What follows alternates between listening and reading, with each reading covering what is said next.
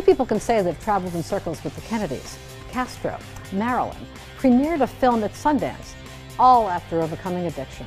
I'm Jan Saragoni, and this week's Power Player, we speak with Christopher Kennedy Lawford.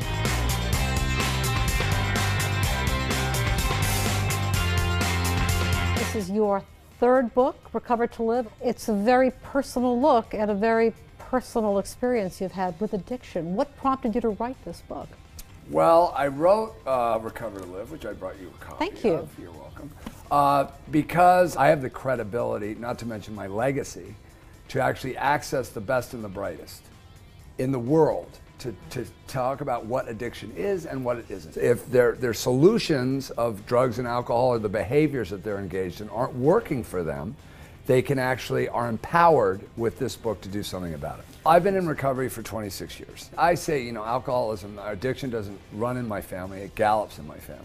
You are a product of so many different environments political, Hollywood, uh, television. You are a dead ringer for your late great father, Peter Lawford. Was that hard to overcome the notion that, gee, uh, you're just going into acting because your father did? Did it help or hurt being the son of such a famous actor? I think it's hard to become anything that your father was. Mm-hmm. So for me, I never believed I was good enough as an actor. He was a talented guy, my dad, really talented. And he could sing, he could dance, he could do all that. I couldn't do all that. I came to it late in life, but never at my core level believed that I was that I would be good enough. So quite frankly, I wasn't. Speaking of your father, he was a member of the famous Rat Pack, Sammy Davis Jr., Peter Lawford, Dean Martin. What was it like uh, being around those actors? Yeah, they did. Well, yeah, they were great. They were all great friends. They had a great time. I, you know, I tell this story a lot. I mean, my Frank Sinatra was my uh, was godfather to my sister Victoria, who's younger than me. I had godfather envy from a really young age because he would show up at her birthday parties with like really inappropriate presents for a three-year-old, like diamond earrings. Marilyn Monroe was a great friend of my parents. She taught me how to do the twist when I was six years old, and I I, you know, I tell people all these things, but I have to say, you know, those guys had everything you could possibly want in this world, and they all died from this illness. You know, they all had addiction. They were all miserable. My father died, you know, 20 years, terrible alcoholism at the end, died at 60, never saw his grandkids. The stuff in the world, the success, the power, the money, all that stuff doesn't mean anything. Now, this disease will get you if you're in the, on the wrong side of the tracks or you're in the White House. It doesn't matter. Can you talk a bit about what it was like to make a, a feature film, 13 Days, about the Cuban Missile Crisis, especially since your family played right. such a key role in that whole episode?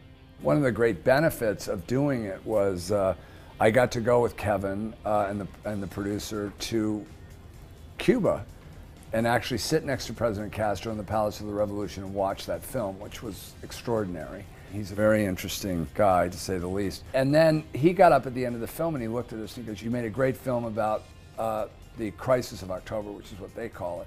But now you need to make a film about what was happening in Cuba. Speaking of films, many people may not realize that you got your start with Universal Studios acquiring American Graffiti and then went on to Kiss Me Guido at yeah. Sundance. I was always interested in the film business. I went, you know, at it from a, a from the other other side of the camera, really, initially as a producer and worked at Universal. But then I became an actor when I got later in life at 30, which was a moment of either clarity or insanity, either one. Kiss Me Guido was a film that I produced and also was in went to Sundance. I also did a movie called Drunks that went to Sundance. But uh, I love independent films. It gives you more creativity. It's really Right, right. And, and I got to kiss a man in Kiss Me Guido, which was very interesting.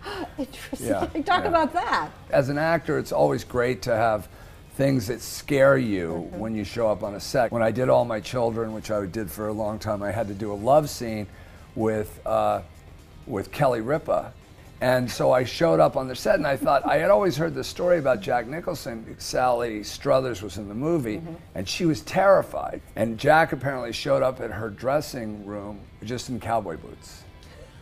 so I showed up on the set naked on this thing and they were like everybody it was ABC television it wasn't a movie so it was right. they were they were like what is he doing do we as a, as a society, we tend to turn the addictions of people into entertainment and into cover stories in celebrity magazines. So the picture of Lindsay Lohan spilling out of a car. Right. um, Imagine you know, if that she if that was a person with schizophrenia. You would never do that. But they but we allow it in addiction. It's not like you can just like other mental illness where depression you can go see a psychiatrist and find the right antidepressant. There's not one pill that's going to fix this. Okay, there may be a pill involved, there may be psychosocial involved, you might need to treat the family. You've got to address every aspect of a person's life. But if you do it right and you do it intensively first on, you'll never have to do it again.